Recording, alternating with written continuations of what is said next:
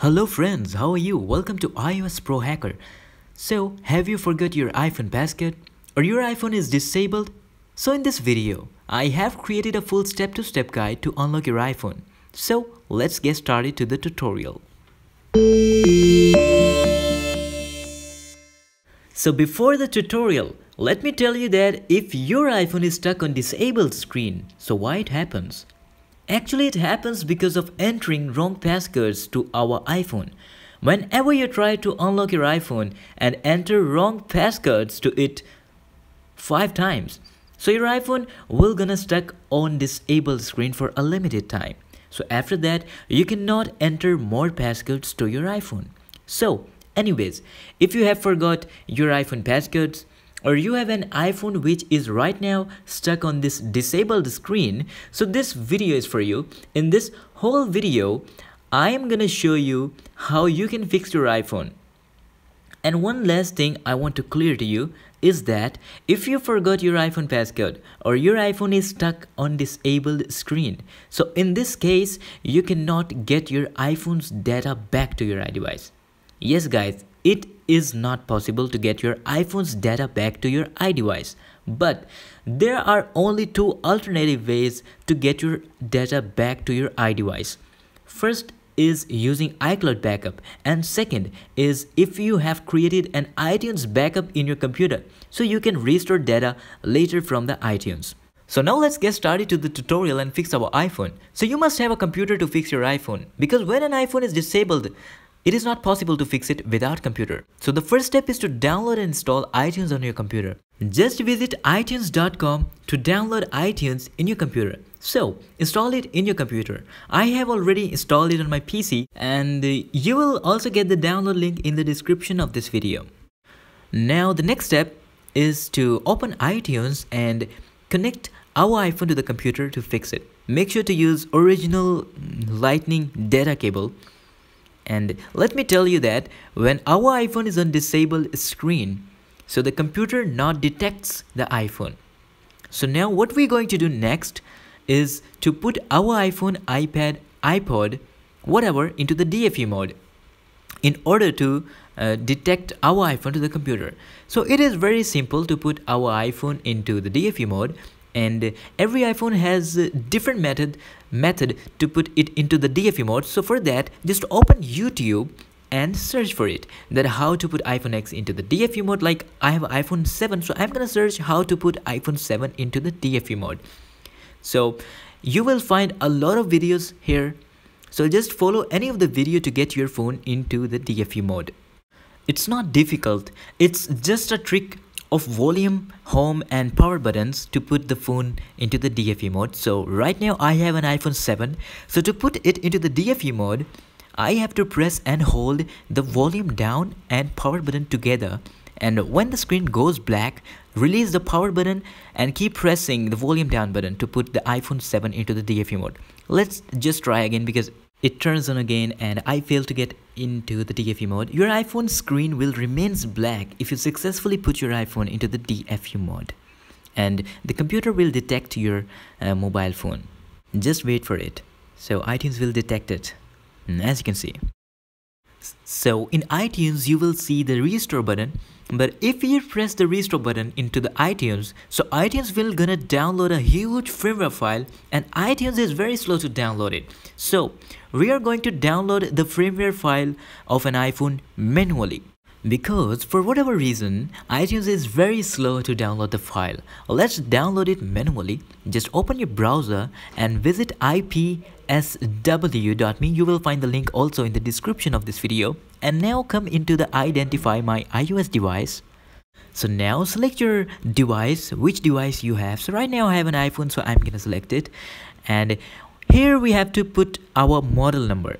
So you will find the model number on the back of your iPhone. You can see this little number. So you have to put it. So after that, uh, after putting the model number, oh, let me just correct it. So after putting the model number, this website will gonna detect our iPhone. So just simply press the download button at the bottom and it will start download the file and it is about 3 4 GB file uh, so it takes time depends on your internet speed. So i'm gonna cancel the download because i have already downloaded the file um, into my computer. And after the download you will find the, the file into the downloads folder. So just simply copy uh, the file from there onto the desktop. So like I did uh, here is the file. You can see I've already copied it into the desktop Okay, right. So next what we are going to do is to press the restore button into the iTunes while keep pressing the shift key on our keyboard. If you have a Mac, so you need to press and hold the option key and just press the restore button. And now select the file we have downloaded. You will find it into your downloads folder if you haven't copied it to the desktop. I already copied it to the desktop so I'm gonna open this up from here.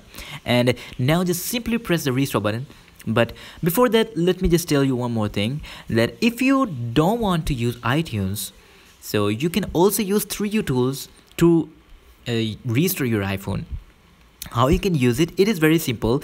Uh, just come into the flash and jb and you will gonna import the you will see the import button here. Uh, now just select the downloaded file and press the flash button to start the restoring process. But i'm gonna use itunes. I'm not gonna use 3U tools because iTunes works fine for me. So let's get back to the iTunes and select the file again to start restoring process. Uh, just like that. And you can also use 3U tools if you don't want to use iTunes or iTunes is giving any kind of errors. So you can always use 3U tools. It works fine. It's totally free. So now we are done and iTunes has started to restore our iPhone. It will take about 7 to 10 minutes to complete the restore process and uh, I am skipping the video and fast forwarding the video to make the video short. If iTunes is giving any kind of error so please make sure to update your iPhone to the sorry iTunes to the latest version and make sure to use original data lightning cable to get it work don't use cheap chinese cables uh, otherwise it may stick on white apple logo. So after that you will uh, have to start all over again and restore your iphone again. So guys if you see this pop-up message on itunes it means that your iphone has successfully restored. Now you can also disconnect your iPhone from the computer but I do not recommend you to disconnect your iPhone because sometimes our iPhone battery is low so the iPhone will gonna shut down and will stuck on the Apple logo. Anyways now we have to wait until it completes and again let me clear to you that it is not possible to get your iPhone's data back to your iDevice if it is stuck on disabled screen and the way you can get the data is only by restoring iPhone from iCloud backup or if you have created iTunes backup on your computer, unfortunately. So I'm going to skip the video now because I don't want to make a long video. So after it completes, you see the hello screen. So now you have to set up your iPhone, select language, country, Wi-Fi and all that and uh, if if the find my iphone was enabled on this iphone on your iphone so it may ask you for your apple id and password to unlock your iphone and make sure don't be too fast because in the next step our iphone will ask us about apps and data so now uh, here you can choose an option from where you want to restore your iPhone's data. So you can restore from iCloud or iTunes backup and I have created an iCloud backup. So I'm going to choose the first option. So after that it will ask us for our Apple ID and uh, my iPhone will gonna download all the files from the iCloud backup such as photos, videos, contacts, call logs, messages and all the data of the applications like WhatsApp, and all the other applications. So it may take few minutes to complete because it is downloading all the files from the iCloud backup. So it depends on your internet speed.